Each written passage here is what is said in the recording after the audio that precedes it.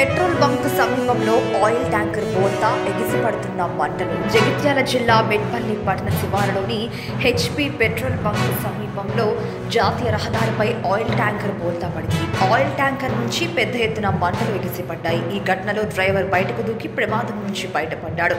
మంగళవారం తెల్లవారుజామున ఈ ఘటన చోటు చేసుకున్నట్టు తెలుస్తుంది. స్థానికులు వెంటనే ఫైర్ సిబ్బందికి సమాచారం అందించారు. జగిత్యాల జిల్లా బెట్పల్లి పట్న శివారులోని హెచ్పి పెట్రోల్ బంక్ సమీపంలో జాతీయ రహదారిపై ఆయిల్ ట్యాంకర్ బోల్తా పడింది. ఆయిల్ ట్యాంకర్ నుంచి పెద్ద ఎత్తున మంటలు ఎగిసిపడ్డాయి ఈ ఘటనలో డ్రైవర్ బయటకు దూకి ప్రమాదం నుంచి బయటపడ్డాడు.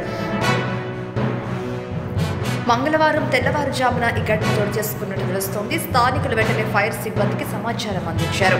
ఘటనా స్థలానికి చేరుకున్న ఫైర్ సిబ్బంది రెండు ఫైర్ ఇంజన్లతో మంటలను ఆర్పే ప్రయత్నం చేస్తున్నారు. అక్కడే ఉన్న విద్యుత్ తీగలకు మంటలు అంటుకోవడంతో విద్యుత్ సరఫరా